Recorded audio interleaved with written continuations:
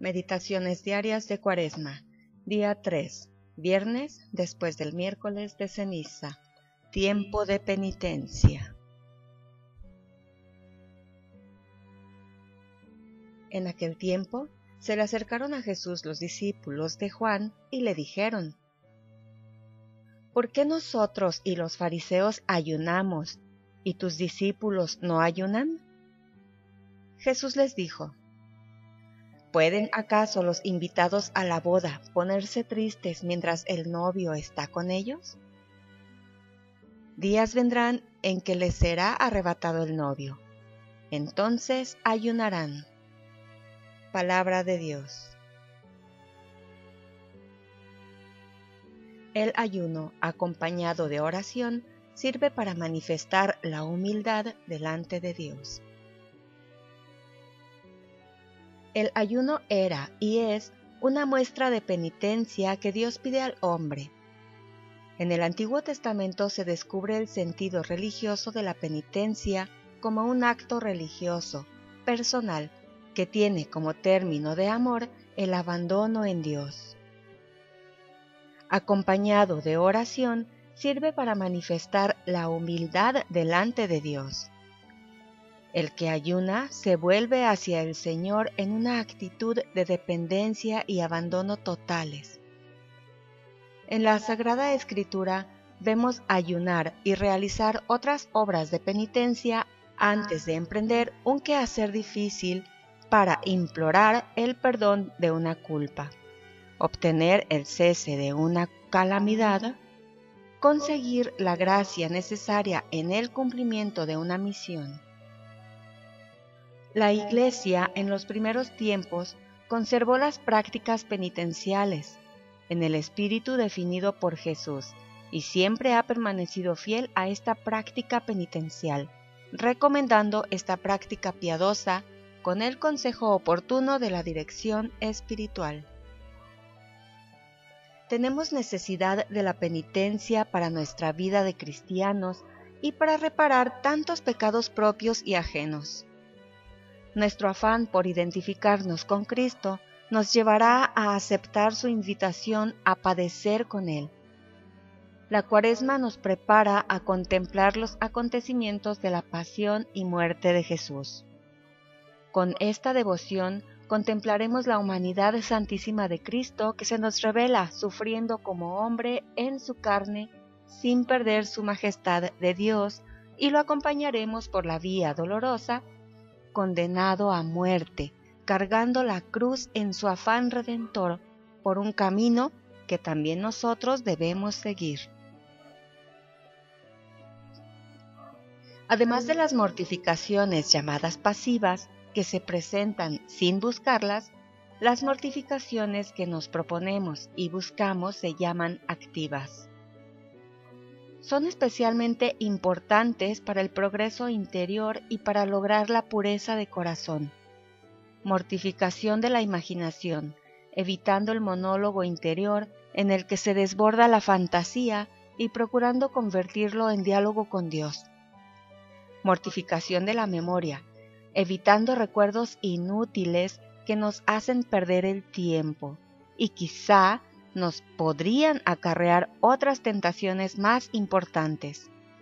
Mortificación de la inteligencia para tenerla puesta en aquello que es nuestro deber en ese momento y rindiendo el juicio para vivir mejor la humildad y la caridad con los demás. Decidámonos a acompañar al Señor de la mano de la Virgen. La conversión del corazón.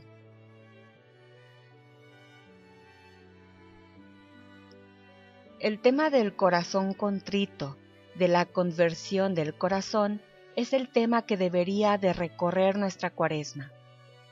Es el tema que debería recorrer toda nuestra preparación para la Pascua. La liturgia nos insiste que son importantes las formas externas, pero más importantes son los contenidos del corazón. La Iglesia nos pide en este tiempo de cuaresma que tengamos una serie de formas externas que manifiesten al mundo lo que hay en nuestro corazón y nos pide que el miércoles de ceniza y el viernes santo hagamos ayuno y que todos los viernes de cuaresma sacrifiquemos el comer carne. Pero esta forma externa no puede ir sola, necesita para tener valor ir acompañada de un corazón también pleno. El profeta Isaías veía con mucha claridad. Es lo que yo busco, que inclines tu cabeza como un junco, que te acuestes en fango y ceniza. Dios nuestro Señor lo que busca en cada uno de nosotros es la conversión interna, que cuando se realiza se manifiesta en obras que cuando se lleva a cabo tiene que brillar hacia afuera, pero no es solamente lo externo. ¿De qué poco serviría haber manchado nuestras cabezas de ceniza si nuestro corazón no está también volviéndose ante Dios nuestro Señor? ¿De qué poco nos serviría que no tomásemos carne en todos los viernes de cuaresma si nuestro corazón está cerrado a Dios nuestro Señor? La dimensión interior que el profeta proclama, nuestro Señor la toma y la pone en una dimensión sumamente hermosa cuando le preguntan, ¿por qué ustedes no ayunan y sin embargo los discípulos de Juan y nosotros sí ayunamos? Y Jesús les responde usando una parábola. ¿Pueden los amigos del esposo ayunar mientras está él con ellos? Jesús lo que hace es ponerse a sí mismo como el esposo, en el fondo, retoma el tema bíblico tan importante de Dios como esposo de Israel, el que espera el don total de Israel hacia él.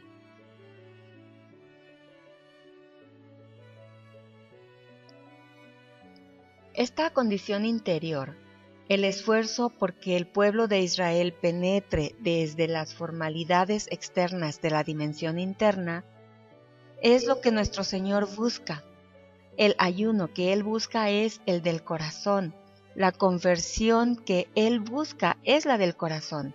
Y siempre que nos enfrentemos a esta dimensión de la conversión del corazón, nos estamos enfrentando a algo que muchas veces no se ve tan fácilmente, a algo que muchas veces no se puede medir, pero a algo que no podemos prescindir en nuestra vida.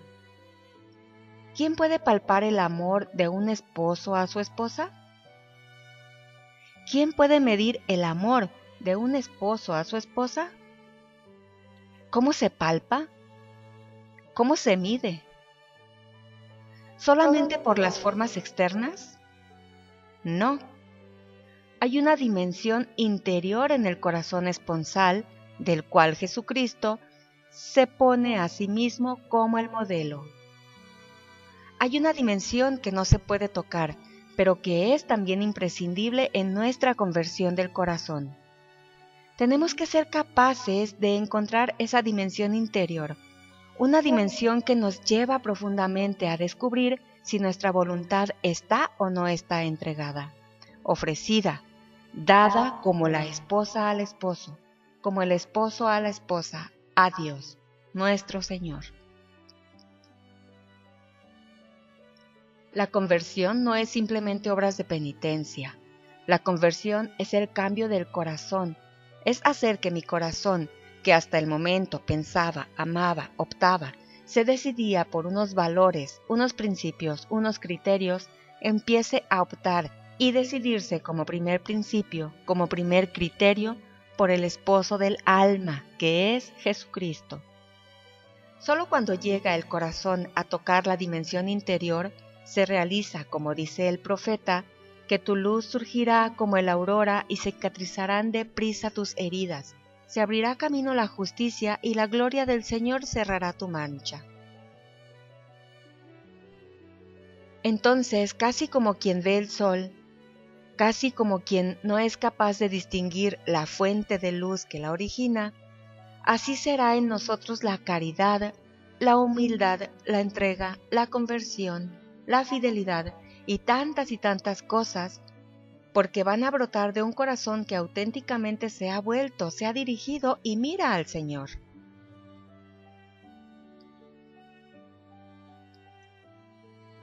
Este es el corazón contrito.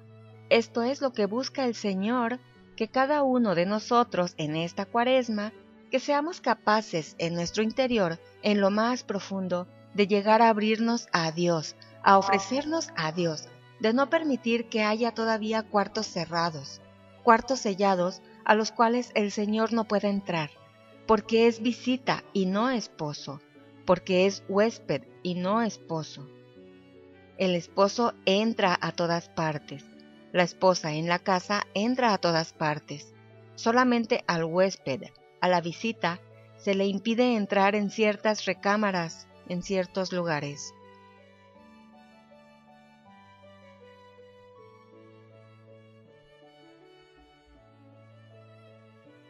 Esta es la conversión del corazón.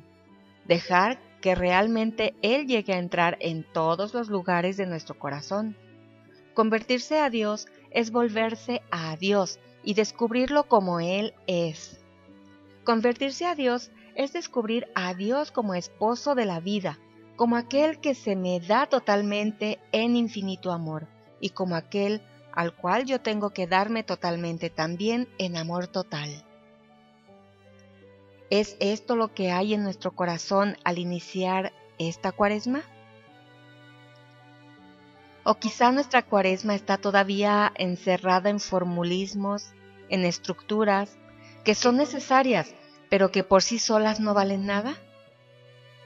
O quizá nuestra cuaresma está todavía encerrada en criterios que acaban entreteniendo el alma.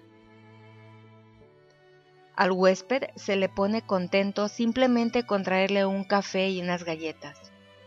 Pero al esposo o a la esposa no se le puede contentar simplemente con una formalidad. Al esposo o a la esposa hay que darle el corazón. Que la Eucaristía en nuestra alma sea la luz que examina, que escruta, que ve todos y cada uno de los rincones de nuestra alma, para que, junto con el esposo, sea capaz de descubrir dónde todavía mi entrega es de huésped y no de esposo.